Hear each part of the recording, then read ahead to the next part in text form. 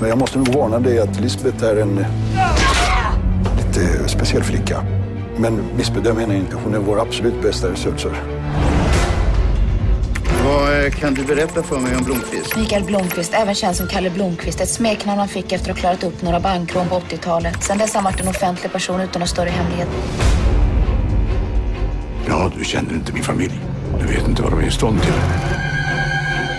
En av de där personerna livet av vargen. Du ska jobba för storkapitalet nu då? Vem är du?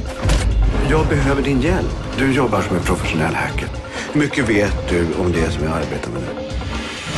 40-årigt mord på en 16-årig flicka. Om det blir minsta problem med dig, Lisbeth, så ska jag se till att du blir inspärrad resten av livet. För jag vet allt om dina psykiska problem och din våldsamma bakgrund. Men det finns inget att hämta här. Det finns inget svar. Alla har hemligheter. Du gör bara ont värre genom att komma hit med din lilla hora. Vilka är misstänkta? Ingen? Alla?